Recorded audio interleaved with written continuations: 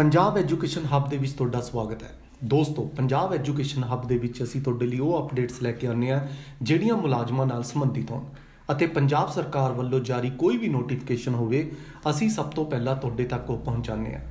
ਅੱਜ ਦੀ ਜਿਹੜੀ ਕਬੱਡੀ ਅਪਡੇਟ ਆ ਰਹੀ ਹੈ, ਉਹ ਕੱਚੇ ਮੁਲਾਜ਼ਮਾਂ ਨੂੰ ਲੈ ਕੇ ਆ ਰਹੀ ਹੈ। ਇਹ ਕੱਚੇ ਮੁਲਾਜ਼ਮਾਂ ਨੂੰ ਲੈ ਕੇ ਜਿਹੜੀ ਅਪਡੇਟ ਆ ਰਹੀ ਹੈ, ਇਹ ਪੰਜਾਬ ਦੀ ਚੰਨੀ ਸਰਕਾਰ ਵੱਲੋਂ ਇੱਕ ਵੱਡਾ ਫੈਸਲਾ ਲਿੱਤਾ ਗਿਆ ਹੈ, ਉਹਨਾਂ ਨੂੰ ਪੱਕੇ ਕਰਨ ਦਾ।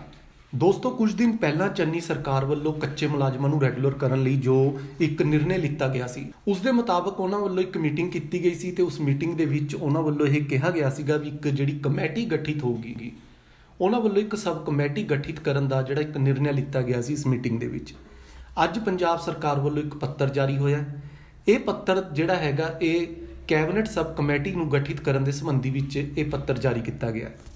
ਇਹ ਜਿਹੜਾ ਪੱਤਰ ਹੈ, ਪੰਜਾਬ ਸਰਕਾਰ ਵੱਲੋਂ ਜਾਰੀ ਕੀਤਾ ਗਿਆ ਹੈ ਤੇ ਇਹਦਾ ਜਿਹੜਾ ਵਿਸ਼ਾ ਹੈ, ਉਹ ਕੈਬਨਿਟ ਸਬ ਕਮੇਟੀ ਗਠਿਤ ਕਰਨ ਦੇ ਸੰਬੰਧੀ ਹੈ। ਇਸ ਪੱਤਰ ਦੇ ਵਿੱਚ ਇਹ ਲਿਖਿਆ ਗਿਆ ਹੈ ਕਿ ਪ੍ਰਮੁੱਖ ਸਕੱਤਰ, ਮੈਡੀਕਲ ਸਿੱਖਿਆ ਤੇ ਖੋਜ ਸਕੱਤਰ, ਉਚੇਰੀ ਸਿੱਖਿਆ ਸਕੱਤਰ, ਸਿਹਤ ਤੇ ਪਰਿਵਾਰ ਭਲਾਈ ਅਤੇ ਸਕੱਤਰ ਸਕੂਲ ਸਿੱਖਿਆ ਵਿਭਾਗ ਕਿਰਪਾ ਕਰਕੇ ਉਪਰੋਕਤ ਕਿਤੇ ਵਿਸ਼ੇ ਵੱਲ ਧਿਆਨ ਦੇਣ ਦੀ ਖੇਚਲ ਕਰਨ ਮੰਤਰੀ ਪਰਿਸ਼ਦ ਦੀ ਜਿਹੜੀ ਇੱਕ ਮੀਟਿੰਗ ਹੋਈ ਸੀ 16 11 2021 ਨੂੰ ਉਸ ਮੀਟਿੰਗ ਦੇ ਵਿੱਚ ਇਹ ਮਾਮਲਾ ਰੱਖਿਆ ਗਿਆ ਸੀ ਵੀ ਜਿਹੜੀ ਸਬ ਕਮੇਟੀ ਗਠਿਤ ਹੋਊਗੀ ਕੈਬਨਿਟ ਦੀ। ਦੋਸਤੋ, ਪੰਜਾਬ ਸਰਕਾਰ ਵੱਲੋਂ ਜਿਹੜੀ ਇੱਕ ਸਬ ਕਮੇਟੀ ਗਠਿਤ ਕੀਤੀ ਗਈ ਹੈ, ਉਹਦਾ ਜਿਹੜਾ ਵੇਰਵਾ ਪੱਤਰ ਵਿੱਚ ਦਿੱਤਾ ਗਿਆ ਵੀ ਜਿਹੜੇ ਨੁਮਾਇੰਦੇ ਨੇ ਪੰਜਾਬ ਸਰਕਾਰ ਵੱਲੋਂ ਕੌਣ-ਕੌਣ ਹੋਣਗੇ, ਇਹ ਜਿਹੜੀ ਇੱਕ ਸਬ ਕਮੇਟੀ ਗਠਿਤ ਕੀਤੀ ਹੈ, ਇਸ ਦੇ ਵਿੱਚ ਪਹਿਲੇ ਨੰਬਰ ਤੇ ਮੁੱਖ ਮੰਤਰੀ, ਦੂਜੇ ਨੰਬਰ ਤੇ ਉਪ ਮੁੱਖ ਮੰਤਰੀ, ਵਿੱਤ ਮੰਤਰੀ ਪਿੰਡੂ ਵਿਕਾਸ ਅਤੇ ਪੰਚਾਇਤ ਮੰਤਰੀ, ਮੈਡੀਕਲ ਸਿੱਖਿਆ ਤੇ ਖੋਜ ਮੰਤਰੀ, ਸਿੱਖਿਆ ਮੰਤਰੀ ਤੇ ਮੁੱਖ ਸਕੱਤਰ, ਇਸ ਜਿਹੜੀ ਇੱਕ ਸਬ ਕਮੇਟੀ ਗਠਿਤ ਕੀਤੀ ਗਈ ਹੈ, ਇਹ ਸਾਰੇ ਉਹਦੀ, ਉਹਨਾਂ ਦੇ ਵਿੱਚ ਸ਼ਾਮਲ ਹੋਣਗੇ। ਇਸ ਕਮੇਟੀ ਵਿੱਚ ਮੈਡੀਕਲ ਸਿੱਖਿਆ ਤੇ ਖੋਜ ਸਹਿਤ ਤੇ ਪਰਿਵਾਰ ਭਲਾਈ ਦੀ ਜਿਹੜੀ ਉਚੇਰੀ ਸਿੱਖਿਆ ਅਤੇ ਸਕੂਲ ਸਿੱਖਿਆ ਦੇ ਜਿਹੜੇ ਪ੍ਰਬੰਧਕ ਸਕੱਤਰ ਨੇ, ਉਹ ਵੀ ਸ਼ਾਮਲ ਹੋਣਗੇ।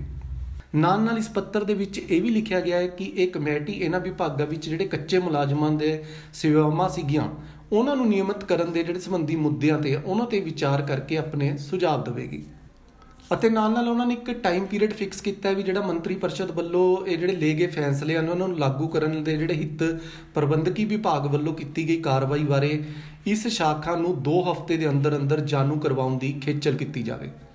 ਇਹ ਜਿਹੜਾ ਪੱਤਰ ਜਾਰੀ ਕੀਤਾ ਹੈ, ਪੰਜਾਬ ਸਰਕਾਰ ਵੱਲੋਂ ਜਾਰੀ ਕੀਤਾ ਹੈ, ਜਿਹੜੇ ਕੱਚੇ ਮੁਲਾਜ਼ਮਾਂ ਨੂੰ ਇੱਕ ਰੈਗੂਲਰ ਕਰਨ ਦਾ ਜਿਹੜਾ ਭਰੋਸਾ ਦਿਲਾਇਆ ਗਿਆ ਸੀਗਾ ਚੰਨੀ ਸਰਕਾਰ ਵੱਲੋਂ, ਉਹਨਾਂ ਲਈ ਇਹ ਪੱਤਰ ਜਾਰੀ ਕੀਤਾ ਗਿਆ ਹੈ। ਦੋਸਤੋ, ਇਹ ਜਿਹੜੀ ਅਪਡੇਟ ਸੀ, ਇਹ ਸਾਡੀ ਅੱਜ ਦੀ ਅਪਡੇਟ ਸੀ, ਕੱਚੇ ਮੁਲਾਜ਼ਮਾਂ ਨੂੰ ਜਿਹੜੇ ਰੈਗੂਲਰ ਕਰਨ ਦੀ ਜਿਹੜੀ ਇੱਕ ਅਪਡੇਟ ਸੀਗੀ। ਜੇ ਤੁਹਾਨੂੰ ਸਾਡੀ ਅਪਡੇਟ ਵਧੀਆ ਲੱਗੀ ਹੋਵੇ, ਤਾਂ ਇਹ ਵੀਡੀਓ ਨੂੰ ਲਾਈਕ ਤੇ ਸ਼ੇਅਰ ਜ਼ਰੂਰ ਕਰਿਓ ਤੇ ਸਾਡੇ ਹੌਸਲਾ ਅਫਜ਼ਾਈ ਲਈ ਚੈਨਲ ਨੂੰ ਸਬਸਕ੍ਰਾਈਬ ਕਰਿਓ।